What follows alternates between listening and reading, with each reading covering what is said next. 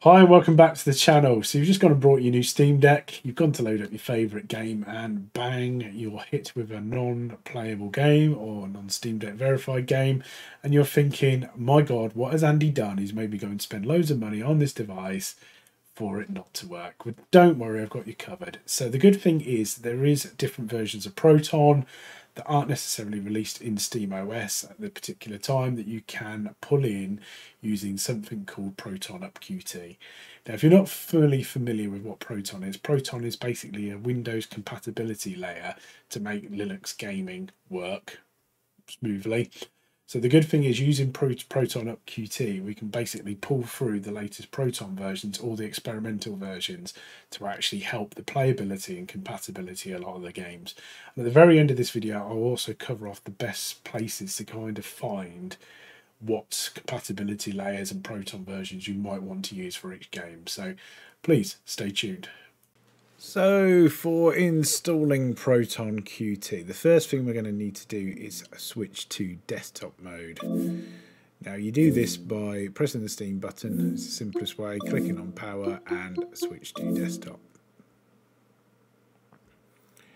Now once we're in the desktop mode, what we need to do is bring up the Discovery app, which is under Systems and Discover. And in the search, a couple of ways you can do this. I always just search for Proton and you'll be looking for Proton up Qt. As you can see, I've already got mine installed. But if you don't at this point, then you just click install and off you go.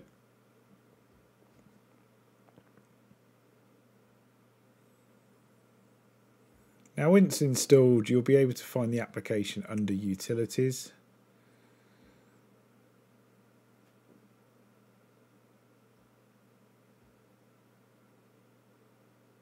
I'll just move this into the center.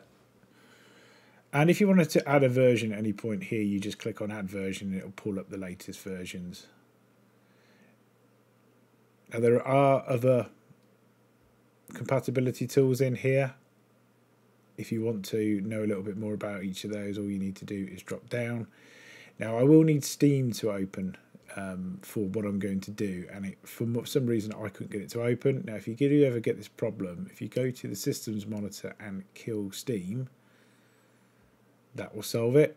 What you'll have to do is then reboot or go into desktop mode and back out which is what I'm going to do in a minute because you'll notice Steam still wasn't playing ball so I just went back to desktop mode and then come back into or gaming mode, come back into desktop mode and then relaunch Steam.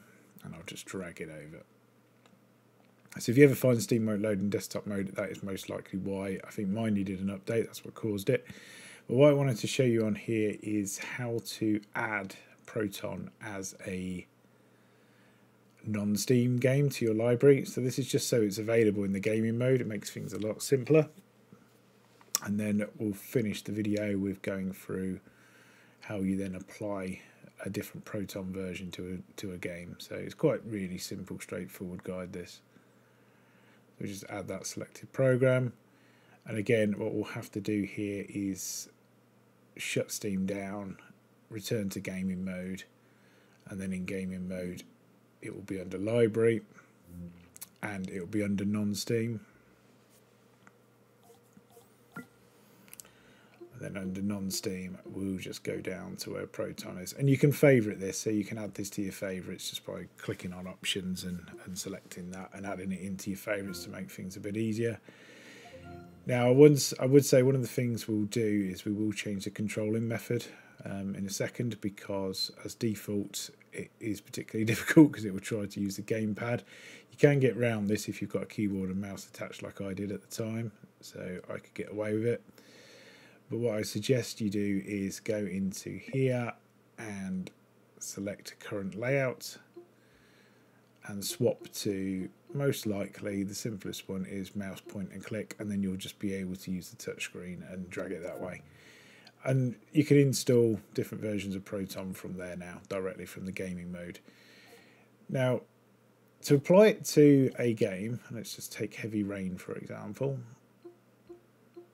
if we go into the options and then properties, what we can do is under compatibility, turn on a force user specific compatibility tool and then just select whatever Proton version we want. So I'll go with the latest at the time recording this video. And that's now using that. And I will just click play and load up the game.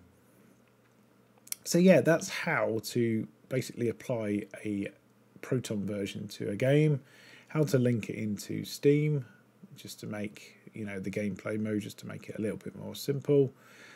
And yeah that's it really. And that's heavy rain loaded up um, quite happily with that version of proton. Now to get an idea of the best versions for proton just simple google will get you most of your answers. There is no definitive though. So i promised you at the very start of the video that I would show you the protondb.com database. Now this is really useful because it will enable you to look through various games to see one if they're playable, if they're verified or unsupported because although Steam are very good at updating their verified list, sometimes even the verified stuff needs a little tweak just to give you the maximum performance or playability. So if I just did a quick explore on here now, they've kind of used very different uh, terminology. So I love the balked from PUBG. Now, you will be able to find bits in here about anti-cheat. So anything that says easy anti-cheat, normally you'd have to use something like Windows 10 to solve that problem because Steam OS doesn't necessarily play well. There are some games that you know you can solve using various different bits, but let's let's just take GTA for example. Now it's come up gold you know, it says Steam Deck playable, but not necessarily fully verified.